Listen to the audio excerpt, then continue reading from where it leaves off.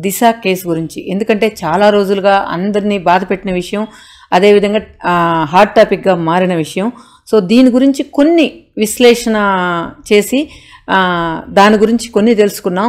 Even అన్నయ్య నాతో చెప్పినప్పుడు కూడా నాకు కూడా ఓ ఇలా కూడా జరుగుతుందా? అని అనిపించింది.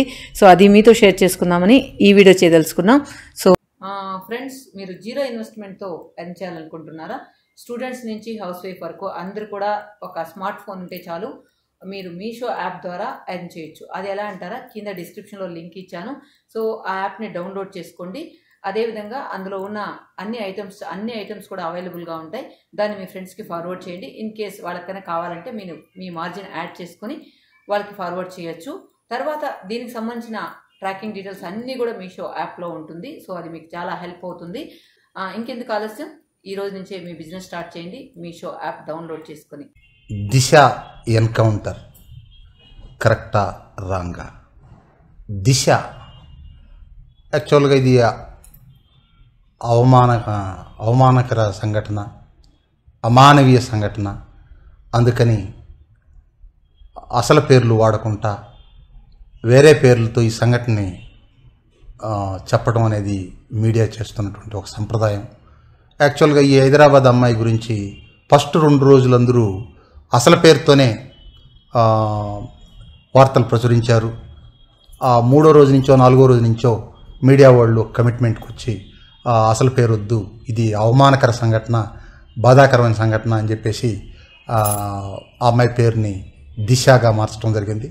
ఇది మీడియాలో వస్తున్న సంప్రదాయం. ఇంతకుముందు కూడా రెండు వేల పన్నెండులో ఢిల్లీలో ఒక అమ్మాయి ఉత్తరప్రదేశ్ అమ్మాయి గురించి జరిగినప్పుడు ఆ అమ్మాయి పేరు కూడా నిర్భయ భయం లేనిది అనే ఒక మీనింగ్లో నిర్భయ అనే ఒక పేరు పెట్టి ఆ పేరుతో ఫోకస్ చేశారు. ఇది కూడా మంచి ఈ అమ్మాయికి కూడా పెట్టడం మంచి పద మంచి సంప్రదాయం. బట్ ఫస్టే పెట్టుంటే బాగుండేది. ఒక రెండు మూడు రోజులు అసలు పేరుతోనే పాపులర్ చేశారు. ఇది అవమానకర సంఘటన కాబట్టి వేరే పేర్లతో చెప్పడం విశ్లేషించడం అనేది మంచి సంప్రదాయం. ఓకే ఈ దిశ కేసు పూర్వాపరాల గురించి చూస్తే దీన్ని మూడు పాయింట్లుగా చెప్తాను నేను. ఫస్ట్ వన్ దిశ కేసు పూర్వాపరాలు. సెకండ్ వన్ దిశ నిందితుల ఎన్కౌంటర్ తదితర పరిణామాలు. లాస్ట్ వన్ ఆంధ్రప్రదేశ్ ప్రభుత్వం చేసిన దిశ చట్టం యొక్క పరిణామాలు. దీని గురించి చర్చించుకుందాం. ఫస్ట్ మనం నాట్ ఎన్కౌంటర్ దిశ కేసు పూర్వాపురాలు ఓకే దిశ అనే ఓ హైదరాబాద్ అమ్మాయి.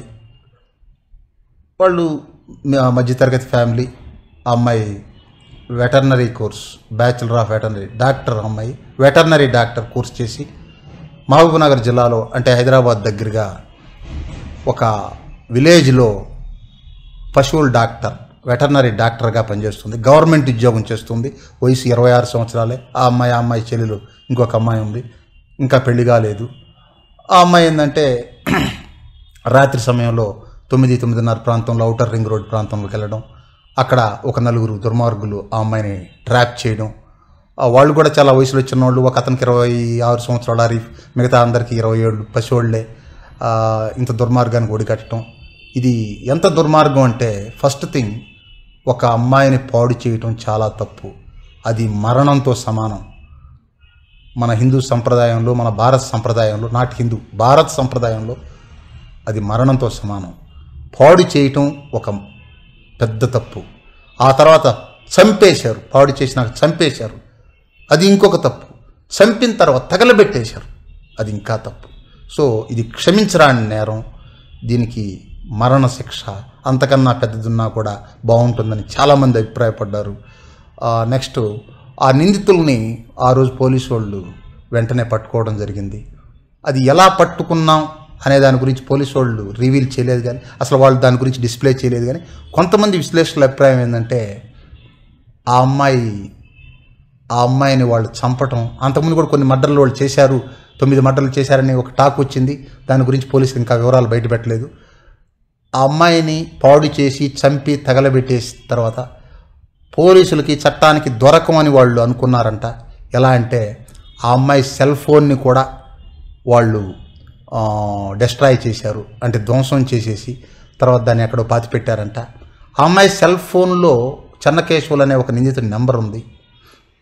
ఆ అమ్మాయి స్కూటర్ పంక్చర్ పంక్చర్ వేయించుకోవడానికి వెళ్ళినప్పుడు ఆ అమ్మాయికి ఆ సెల్ ఫోన్ నెంబర్ ఇవ్వాల్సి వచ్చింది ఆ అమ్మాయికి నమ్మకం కలిగించే దానికోసం ఆ సెల్ ఫోన్తో ఆ అమ్మాయి కాల్ చేసింది. అదే పోలీసులకు కీలకమైంది. ఎలా కీలకమైందంటే సెల్ ఫోన్ డిస్ట్రాయ్ అయిపోయింది. అక్కడ ప్రత్యక్ష సాక్షులు లేరు. ఆ సిమ్ను కూడా డస్ట్ తగలబెట్టేసి దాన్ని ఏమంటారు ధ్వంసం చేసేసారు.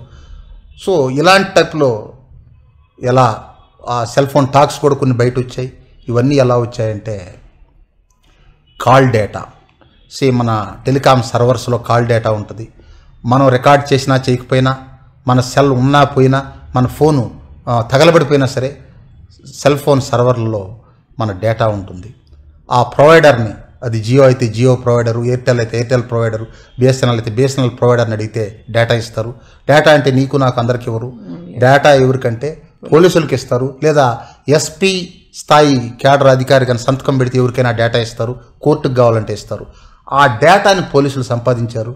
ఆ అమ్మాయి చివరిగా ఎవరికి కాల్ చేసింది? వాళ్ళ చెల్లెలికి కాల్ చేసింది. ఆ తర్వాత ఎవరికి కాల్ చేసింది? ఆ చెన్నకేశవులని అతనికి కాల్ చేసింది.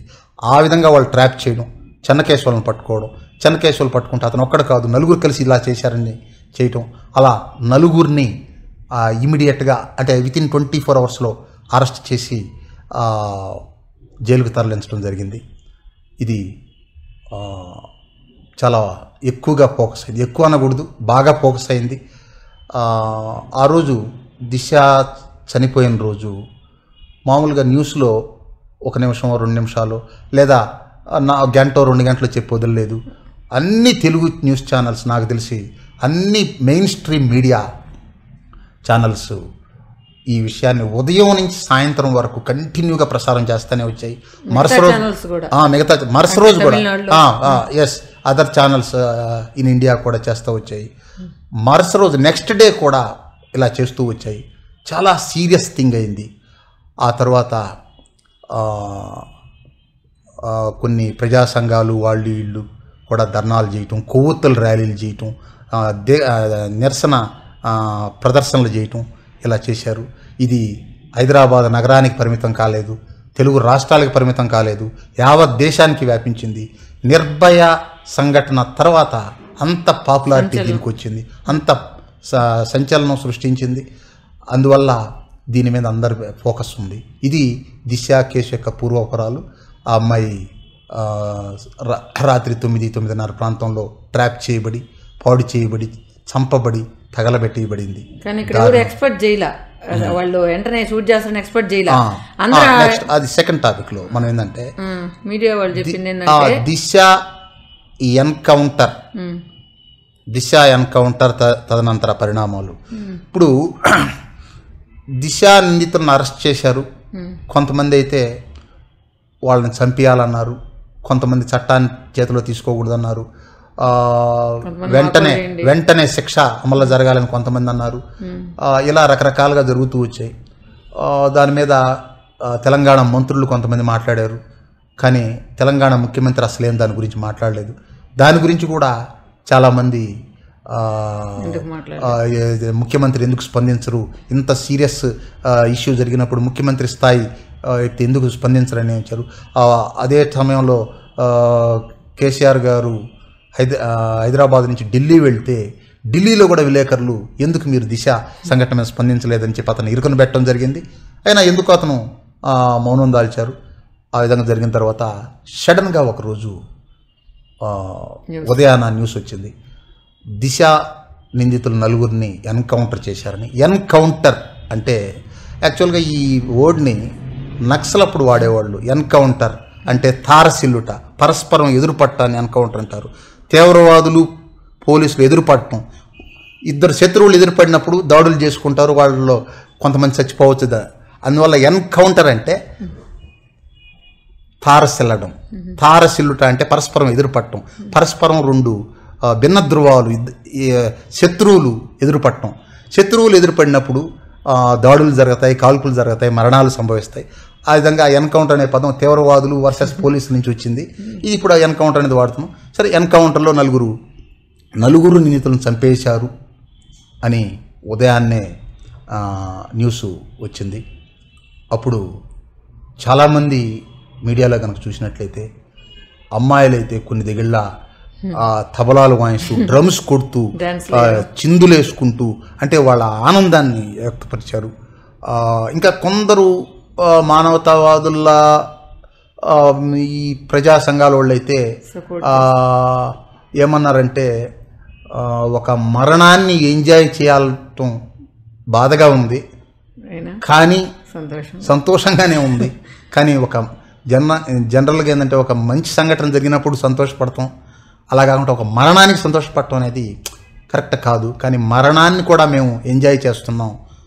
మరణాన్ని ఎంజాయ్ చేయాల్సిన దారుణమైన పరిస్థితి వచ్చింది కానీ ఎంజాయ్ చేస్తున్నాం అన్నారు అయితే ఇది జరిగినప్పుడు ఇక్కడ ప్రజలు మూడు రకాలుగా స్పందించారు. ఫస్ట్ ఇలా చేయటం కరెక్టు. ఇలా చేయటం కరెక్టు. సత్వర న్యాయం జరిగింది. ఆ దుర్మార్గులకు ఇదే శిక్ష అనేవాళ్ళు. చాలామంది వీధుల్లోకి వచ్చి కూడా తమ ఆనందాన్ని వ్యక్తం చేశారు. ఇది ఒక వర్గం. అంటే అధిక సంఖ్యాకులు. వీళ్ళని ఎవరిని తప్పబట్టే దానికి కూడా లేదు. వాళ్ళ ఈగో సాటిస్ఫై అయింది. వర్గం వర్గం కూడా కాదు. కొంతమంది ప్రజలు. కొంతమంది అంటాం కదా అనేకులు అనొచ్చు. ఎందుకంటే నూటికి అరవై డెబ్బై మంది ఇష్టపడ్డట్టు మీడియా కూడా అంటుంది. ఎందుకు ఇష్టపడ్డారంటే ఒక ఘోరం జరిగినప్పుడు మానవ సహజం ఏంటంటే బాధపడటం. దానికి దానికి దాన్ని ఏమంటారు? వాళ్ళు దుర్మార్గుల్ని శిక్షించినప్పుడు. ఈగో సాటిస్ఫై అవుతుంది మనిషికి. ఒరే వాడికి తగిన శాస్తి జరిగింది. అది జనరల్గా కూడా ఒక దుర్మార్గుడికి శిక్ష పడినప్పుడు "ఒరే, వాడికి తగిన శాస్తి జరిగిందని అంటాం. అంటే ఎక్కువ భాగం మంది ప్రజలు చట్టాలు వీటితో పక్కన పెడితే వీటికి అతీతంగా బాగా జరిగిందని చెప్పి ఎంజాయ్ చేశారు. కానీ కొంతమంది ప్రజా సంఘాలు ఇలాంటి వాళ్ళు ఏమన్నారంటే ఎన్కౌంటర్ అనేది తప్పు. చట్టాన్ని చేతిలోకి తీసుకోకూడదు. పోలీసులు చట్టాన్ని చేతిలోకి తీసుకున్నారు. ఇలా చట్టాన్ని చేతిలోకి తీసుకుంటే ఆ చట్టం దుర్వినియోగమయ్యే ప్రమాదం ఉంటుంది అని చెప్పి రెండో వర్గం. ఇంకొక ఇంకొక సెక్షన్ ఆఫ్ పీపుల్ అన్నారు.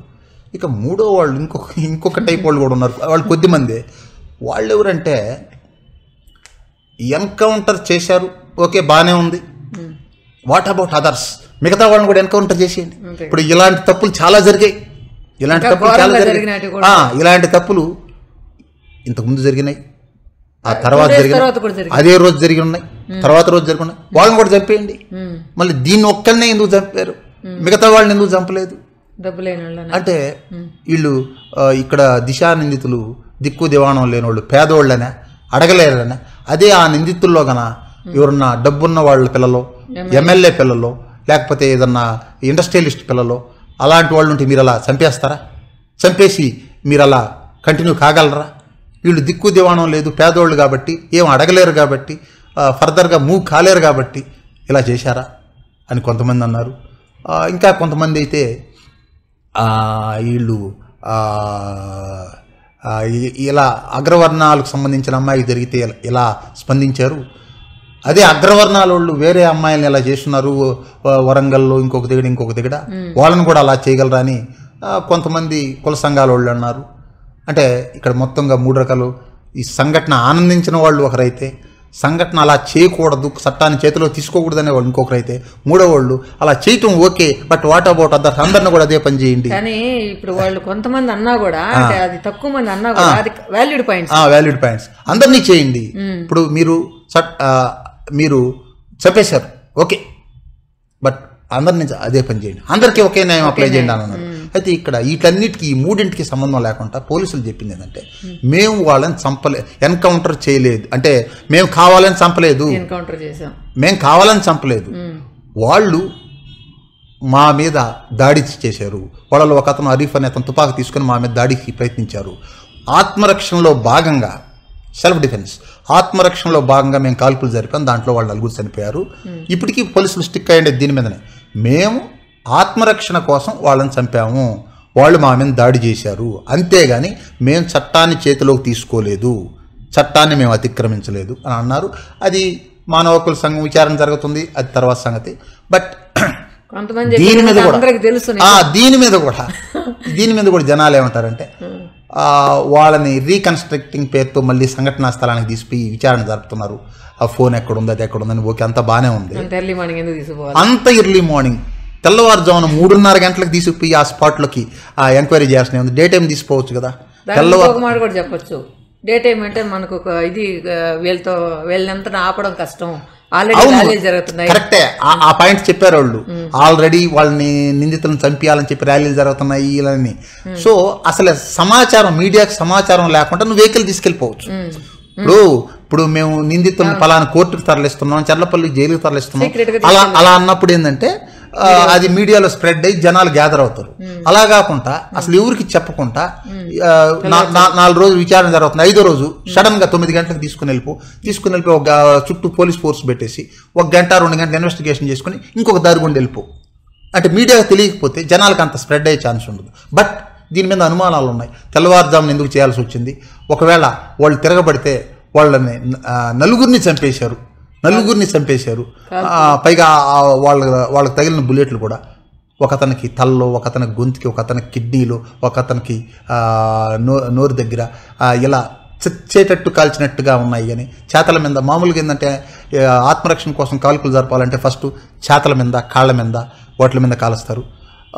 మళ్ళీ పోలీసులకి ఏం దెబ్బలు తగిలినాయి? పోలీసుల సైడ్ నుంచి ఏం నష్టం జరిగింది? ఇలాంటివన్నీ పాయింట్లు వచ్చినాయి. ఎనీహౌ పోలీసులు చెప్పింది ఏంటంటే వాళ్ళు మా మీద దాడికి ప్రయత్నించారు. ఆత్మరక్షణ కోసం మేము కాల్పులు జరిపాం. ఆ కాల్పుల్లో వాళ్ళు చనిపోయారని చెప్పారు. దాని మీద ఎంక్వైరీ జరుగుతుంది. ఆ విషయం కోర్టు చూసుకుంటుంది. దానికి కొంతమంది అనే విషయం ఏంటంటే ఈ నలుగురికి చచ్చిపోయేలాగే కాల్చారు కదా. అప్పుడు ఆత్మరక్షణ కోసం అయితే ఒకటి కాల్లో దిగాల ఒకడు వాడు అదే అదే, పడిపోతాడు. అదే చెప్పా నేను. ఆత్మరక్షణ కోసం అయితే వాళ్ళని నివారించ కొన్ని ప్రశ్నలు. ఆ, నిలవరించడం కోసం అయితే కాళ్ళ మీద కాల్చొచ్చు చేతుల మీద కాల్చొచ్చు అసలు యాక్చువల్గా ఒకరిని గాలిస్తే రెండో వాళ్ళు భయపడిపోతారు. కానీ నలుగురిని చచ్చేదాకా కాలవటం. అది కూడా ఏంటంటే వాళ్ళ వాళ్ళ శరీరంలో ఒక బుల్లెట్ కూడా లేదు. ఆ బుల్లెట్లు కూడా అవతలకి వెళ్ళిపోయాయి. దొరకలేదు. ఆ బుల్లెట్లు కూడా ఏంది గడ్డిలో పడిపోయి దొరకలేదు. తర్వాత ఆ చంపిన ప్రదేశాలు కానీ తర్వాత పోలీసుల వైపు నుంచి నష్టం జరిగితే ఏదో స్వల్ప గాయాలన్నారు కానీ పోలీసుల వైపు నుంచి అంత నష్టం లేదు. అది కాకుండా నలుగురు ఉంటే నలుగురిని చంపేసే అంత జరుగు అయితే పోలీసులు చెప్పేది మా ఆత్మరక్షణ కోసం చేశామంటున్నారు. ఈ కొంతమంది జనరల్ పబ్లిక్ ఏంటంటే "ఆ, లేదులే ఇది పోలీసు వాళ్ళే కావాలని చేశారని అనుకుంటున్నారు. బట్ అది నిజానిజాలు అనేది కోర్టు తేలుస్తుంది. కోర్టు తేలుస్తుంది. కోర్టు కూడా ఏంటంటే సాక్ష్యాలు ఆధారాలు వాటిని బట్టి తేలుస్తుంది. అది మనకు సంబంధం లేదు. అయితే ఎనీహౌ ఈ ఎన్కౌంటర్ కరెక్టా రాంగ్ అనేది దానికి చెప్పాను. కరెక్టు అని సంతోషపడిన వాళ్ళు చాలామంది ఉన్నారు. కరెక్ట్ కాదు చట్టాన్ని చేతిలో తీసుకోకూడదు అనేవాళ్ళు కొంతమంది ఉన్నారు. కరెక్టేను బట్ అందరినీ ఎందుకు చేయకూడదు? వీళ్ళ ఒక్కరి విషయంలో ఎందుకు చేశారు? అని అని చెప్పి అనేవాళ్ళు కూడా కొద్ది శాతం మంది ఉన్నారు. మొత్తం మీద ఎన్కౌంటర్ జరిగింది. దాని మీద విచారణ జరుగుతుంది. నిజానిజాలు తెలుస్తాయి. ఎనిహౌ చాలామంది ముఖ్యంగా దిశ తల్లిదండ్రులు వాళ్ళు ఏంటంటే మా బిడ్డకి పూర్తి న్యాయం జరగకపోయినా కొంతవరకు న్యాయం జరిగింది. అది కూడా తొందరగా న్యాయం జరిగింది. చాలామంది ఏంటంటే ఈ కేసు విచారణ జరుగుతుంది. నిర్భయ నిర్భయ కేసు రెండు వేల పన్నెండులో జరిగితే ఇప్పుడు రెండు వేల పంతొమ్మిది సెవెన్ ఇయర్స్ అయినా కూడా ఇంకా వాళ్ళకి డెత్ సెంటెన్స్ అమలు చేయలేదు. ఈ కేసు కూడా ఏడెనిమిది సంవత్సరాలు జరుగుతుంది. కోర్టులని జైళ్ళని తిప్పుతూ ఉంటారు అలా జరుగుతూ ఉంటుందని అనుకున్నారు. కానీ విత్ ఇన్ టెన్ డేస్ లోపలనే ఇలా ఇలా ఇలా జరిగిపోయింది. జరిగిపోయింది. తర్వాత ఆ, ఇంతకుముందు వరంగల్లో యాసిడ్ దాడి జరిగిన స్వప్నక నిందితుల్ని ఎలా అయితే ఎన్కౌంటర్ ముగ్గురిని చేశారో అప్పుడు వరంగల్ ఎస్పీగా ఉన్నటువంటి సజ్జనార్ గారే ఇప్పుడు హైదరాబాద్ పోలీస్ కమిషనర్గా ఉన్నారు. అయితే సజ్జనార్ గారు సంఘటనకి వెళ్ళలేదు పోలీసులు వెళ్ళారు. పోలీసులు ఆత్మరక్షణ కోసం అని చెప్తున్నారు కాబట్టి మనం దాన్ని ఆర్గ్యూ చేయకూడదు కోర్టు చూసుకుంటుంది. ఇది దిశ ఇది దిశ నిందితుల ఎన్కౌంటర్ తదనంతర పరిణామాలు. ఇక లాస్ట్ వస్తే దిశ కేసు సారీ దిశ చట్టం. దిశ సంఘటన జరిగింది తెలంగాణ ప్రాంతంలో హైదరాబాదులో. పక్క తెలుగు రాష్ట్రమైనటువంటి ఆంధ్రప్రదేశ్. ఒకప్పుడు ఇవి రెండు కలిసి ఉన్న రాష్ట్రాలే ఒక five and half year back Andhra Pradesh ప్రభుత్వం ప్రభుత్వం ముఖ్యమంత్రి జగన్మోహన్ రెడ్డి గారు దిశ చట్టం అనే ఒక చట్టం చేశారు. దాన్ని ప్రజాస్వామ్యవాదులు చాలామంది స్వాగతించారు. దిశా చట్టానికి ఆంధ్రప్రదేశ్ అసెంబ్లీలో కూడా అధికార పార్టీ ప్రతిపక్ష పార్టీ రెండూ కూడా సమర్థించాయి. ఎందుకంటే ఇది అమ్మాయి ఆడబిడ్డల మీద జరుగుతున్నటువంటి దాడుల్ని ఎదుర్కొనే చట్టం కాబట్టి దీన్ని అందరూ సమర్థించారు. దీంట్లో ప్రధానంగా జగన్మోహన్ రెడ్డి గారు చెప్పింది ఏంటంటే త్రీ వీక్స్ ఇరవై ఒక్క రోజుల్లో కంప్లీట్ కావాలి. టూ వీక్స్ పద్నాలుగు రోజుల్లో విచారణ పూర్తి కావాలి. నెక్స్ట్ ఏడు రోజుల్లో శిక్ష అమలైపోవాలి. అంటే ట్వంటీ వన్ డేస్కి సత్వర న్యాయం జరిగిపోవాలి. బాగుంది.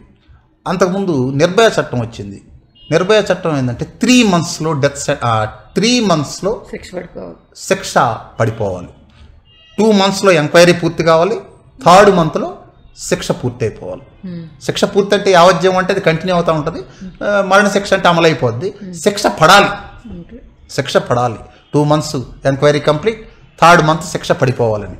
కానీ నిర్భయ చనిపోయి ఇప్పటికి సెవెన్ ఇయర్స్ అయింది. అది కూడా దేశ రాజధాని ఢిల్లీలో.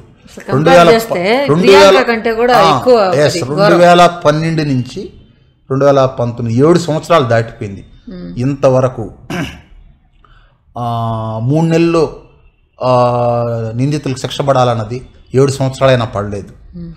మరి ఇక్కడ ఇరవై ఒక్క రోజుల్లో శిక్ష పడిపోద్దంటే పడిపోతుందా? అంటే ఇది సాధ్యం కాదనే చెప్పాలి. ఎందుకంటే ఈ చట్టం చేసిన వాళ్ళే ఒక క్లాజు పెడతారు. పక్కా సాక్ష్యాధారాలు కనుక ఉంటే పక్కా సాక్ష్యాధారాలు కనుక ఉంటే అంటే క్లియర్గా నిందితులను తేలిపోతే వాళ్ళని త్రీ వీక్స్లో శిక్షణ చేయండి అని అంటారు. పక్కా సాక్ష్యాలను ఎవరు తెస్తా ఎవరు తేవాలి? పోలీసు వాళ్ళు తేవాలి. పక్కా సాక్ష్యాలను సేకరించగలరా టూ వీక్స్లో?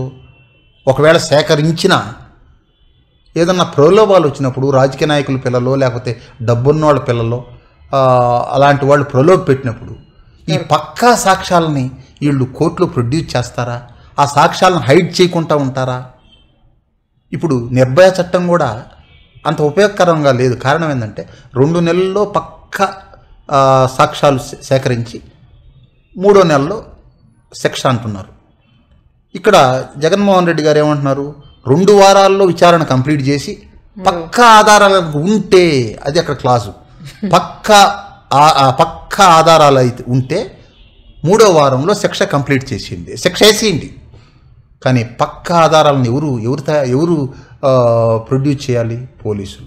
పక్క ఆధారాలు ఇంటికి దొరకతాయా? ఓకే దొరకలేదు సహజంగా అనుకుంటే అది ఒక రకం. దొరికినా కూడా ఏదైనా ప్రలోభాలకి గురయ్యి ఆ పక్క ఆధారాలని హైడ్ చేసేసి నెలలు సంవత్సరాలు గడపచ్చు. అంటే దిశా చట్టం ఉద్దేశం మంచిది కానీ ఆచరణ సాధ్యం కాదు. ఈ ఆచరణ నిర్భయ కూడా మూడు నెలలు అన్నారు. ఆచరణ సాధ్యం కాదు ఇప్పుడు ఇంకా తగ్గించి ఇరవై ఒక్క రోజులు అన్నారు ఇది ఆచరణ సాధ్యం కాదు. దీనికి అంతటి కారణం ఏంటంటే వ్యవస్థలో మార్పు రావాలి. కారణం కాదు.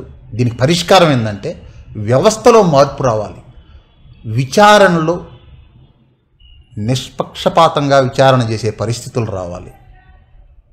దేనికి? ప్రలోభాలకు ఏ ప్రలోభాలకు లొంగకుండా పోలీస్ వ్యవస్థ కానీ న్యాయ వ్యవస్థ కానీ నిష్పక్షపాతంగా విచారణ జరిపి దోషుల్ని వెంటనే గుర్తించగలిగే స్థితి రావాలి. అలాంటి స్థితి వచ్చినప్పుడు ఈ చట్టాల వల్ల ప్రయోజనం ఉంటుంది. అలాంటి మంది ప్రజాస్వామిక దేశం. ప్రజాస్వామిక దేశం. ప్రజాస్వామ్య దేశంలో ఎలా ఉంటుందంటే ఏది కూడా ఫాస్ట్గా చేయలే. ఇక్కడ మెజారిటీ అభిప్రాయం అనేది ఉంటుంది తప్ప అన్ని ఫాస్ట్గా చే చే- చేయాలంటే చాలా లుసుగులు ఉంటాయి. ఇప్పుడు ఒక చట్టం ఉంటుంది ఫాస్ట్గా చేయమని. ఇంకొకటి దాన్ని ఓవర్కమ్ చేసే చట్టం ఇంకొకటి ఉంటుంది. అందువల్ల ప్రజాస్వామ్యంలో ప్రతి ఒక్కరికి వాయిస్ ఉంటుంది. ప్రతి ఒక్కరికి ఇప్పుడు దే నిర్భయ నిందితులకు కూడా ఫస్ట్ సుప్రీంకోర్టులో శిక్ష ఫైనలైజ్ అయింది. తర్వాత రాష్ట్రపతికి అప్పీల్ పెట్టుకున్నారు. అది వచ్చినా మళ్ళీ సుప్రీంకోర్టులో రివ్యూ పిటిషన్ అన్నారు. అంటే మన ప్ర- వ్యవస్థ ఏంటంటే ఛాన్స్ ఇస్తుంది అనమాట ప్రతి ఒక్కరికి అంటే వాడు ఎంత అతను ఎంత దుర్మార్గుడైనా కూడా అతనికి అవకాశం ఇస్తుంది. ఇలా అవకాశాలు ఉంటాయి. ఇవి వీటిలన్నిటినీ అధిగమించుకొని వీటిలన్నిటినీ పరిష్కరించుకొని ముందుకు పోయేటప్పటికి చాలా టైం పడుతుంది. ఆ టైం అనేది పది సంవత్సరాలు పడుతుంది. ఇప్పుడు రాజీవ్ గాంధీని రాజీవ్ గాంధీ గారిని చంపేసిన వాళ్ళకి శిక్ష వేసేదానికి చాలా సంవత్సరాలు పట్టింది. నిర్భయ హంతకులకి ఇంతవరకు శిక్ష పడలేదు. ఇది చాలా టైం పడుతుంది. అట్టని సత్వర న్యాయం అని చట్టాలు పెట్టాం. నిర్భయ చట్టం దిశా చట్టం. కానీ ఈ అమలుకు సాధ్యమా? కాదు. పక్క ఆధారాలతో దర్యాప్తు చేసే వ్యవస్థ మనకుందా? అంత నిష్పక్షపాతంగా మన వ్యవస్థ పోలీసులు న్యాయ వ్యవస్థ చేయగలరా? సో వ్యవస్థలో మార్పు రానంత వరకు ఈ చట్టాలు సక్రమంగా అమలు కావు. చట్టాలు చేయొచ్చు మనం. చట్టాలు చేయొచ్చు. సీరియస్నెస్ ప్రజల యొక్క భావోద్వేగాలను అర్థం చేసుకొని పాలకులు చట్టాలు చేస్తారు. కానీ ఆ చట్టాలు అమలైనప్పుడే ప్రజలకు మేలు జరుగుతుంది. ఆ చట్టాలు అమలు కావాలంటే వ్యవస్థలో మార్పు రావాలి. ఎలాంటి ప్రలోభాలకు లొంగకుండా నిష్పాక్షికంగా దర్యాప్తు చేసి నిందితుల్ని సత్వరం గుర్తించే పరిస్థితులు రావాలి. అలాంటి పరిస్థితులు రావాలని ఒక భారతీయుడిగా కోరుకుంటూ సెలవు తీసుకుంటున్నాను. ఇంకొక చిన్న పాయింట్ మిస్ అయిందా ఒక నైన్ ఇయర్స్కి ఒక ఉరి శిక్ష వేశారు అన్నాడు లాస్ట్లో వాడి వాడిని ఉరి తీసేసినాక తెలిసింది వాడి నిందితుడు ఓకే అంటే ఈ సత్వర న్యాయంలో కొన్ని ప్రాబ్లం అదే నేను నిష్పక్షపాతంగా దర్యాప్తు జరగకపోయినా తొందరపడి కాల్పులు జరిపిన ప్రాబ్లం ఏంటంటే ఒకసారి ఒకసారి పంజాబ్లో ఒక స్కూల్ డ్రైవర్ మీద ఒక కేసు వచ్చింది. ఆ స్కూల్ పిల్లవాడు చిన్న పిల్లవాడు చనిపోయాడని అతన్ని చంపింది ఆ డ్రైవరేనని చెప్పి ప్రజలు కూడా బాగా నిరసన చేశారు. ఆ కేసు సీరియస్ని చూసి అతన్ని చ- చంపేశారు. ఆ తర్వాత కొద్ది రోజులు తెలిసింది అతను నిర్దోష అని. అతను నిర్దోష అయితే మరి అతను నేరం ఎందుకు ఒప్పుకున్నాడని కొంతమంది అడిగినప్పుడు కొంతమంది చెప్పిన ఏంటంటే అతను ఒప్పుకోలేదు ఒప్పించారు అని. ఒక్కోసారి సత్వర న్యాయం వెంటనే డిసైడ్ చేయాలన్నప్పుడు ఏమవుతుందంటే టార్చర్ పెడతారు నిర్దోషులు శిక్షింపబడే ఛాన్సెస్ కూడా ఉన్నాయి. ఉమ్.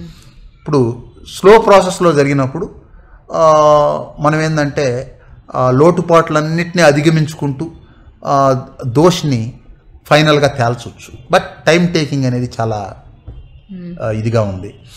సత్వర న్యాయం అనేది బాగుంటుంది. కానీ సత్వర న్యాయం అయినప్పుడు ఒక్కోసారి పోలీసులు ఒత్తిడి వల్ల కావచ్చు ప్రలోభాల వల్ల కావచ్చు నిర్దోషులను కూడా శిక్షించే అవకాశం ఉంటుంది. కాబట్టి వీటన్నిటికీ పరిష్కారం ఏంటంటే ఫైనల్గా వ్యవస్థలో మార్పు రావాలి. వ్యవస్థలో మార్పు వచ్చి నిష్పక్షపాతంగా ప్రలోభాలకు లొంగకుండా చేయగలిగిన రోజు సత్వర న్యాయం అనేది అమలు జరుగుతుంది. అప్పుడు వ్యవస్థ కూడా ఇంకా సుభిక్షంగా ముందుకెళ్తుంది. నాకు తెలిసినంత వరకు ఈ వ్యవస్థ మారేది లేదు. అలా- నిరాశావాదం అనేది ఉండకూడదు. నిరాశావాదం అనేది ఉండకూడదు. వ్యవస్థ మారదు ఇది ఇంతే ఈ దేశం ఇంతే అనేది నిరాశావాదం ఉండకూడదు. ఆశావాదం ఉండాలా? కానీ అవద్దంటావా? అవ్వకపోయినా కాకపోయినా నెమ్మదిగా. మంచి వైపు అయితే ప్రయాణం చేస్తాం. అంటే చెడు పూర్తిగా నిర్మూలించాలి అవినీతి పూర్తిగా నిర్మూలించాలని అనుకోవడం కూడా. కష్టం. ఎందుకంటే చెడుని తగ్గించాలి. అవినీతిని తగ్గించాలి. దాన్ని కనిష్ట స్థాయికి తీసుకెళ్ళిపోవాలి.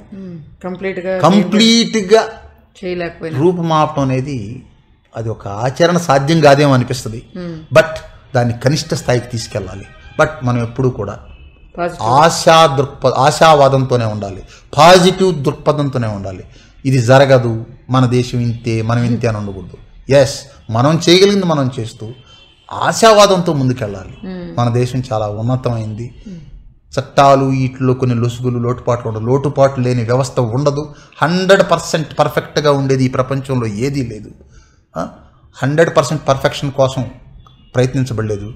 బట్ మ్యాక్సిమం పర్ఫెక్షన్ సాధ్యమైనంత వరకు మంచిని మనం ప్రోత్సహిస్తూ ముందుకెళ్ళాలి. ఓకే ఫ్రెండ్స్ uh, దీని మీద మీ కమెంట్స్ని మీ మీ ఒపీనియన్ ఏంటి అనేది కమెంట్స్లో రాయండి. అంతేకాకుండా వ్యవస్థ అంటున్నాం కానీ వ్యవస్థలో మనం కూడా ఒక భాగస్థులమే. సో ఎవరికి వాళ్ళు మంచిగా పాజిటివ్గా ఆలోచించినట్లయితే సో మనం అట్లీస్ట్ అన్నయ్య చెప్పినట్టు కొంచెం కనిష్ట స్థాయికి తీసుకొచ్చేదానికి మనం కూడా ఒక పార్ట్ అవుతాం. సో ఫ్రెండ్స్ ఐ హోప్ ఈ వీడియో మీకు కొంచెమైనా ఇన్ఫర్మేషన్ వచ్చింది. కొంచెమైనా మన థింకింగ్కి ఒక థింక్ చేసేదానికి ఒక ఐడియా వచ్చిందని అనిపిస్తుంది. అంటే వ్యవస్థ దృష్టిలో పెట్టుకొని మిగతా ఎన్కౌంటర్లో ఎన్ని పక్కన పెడితే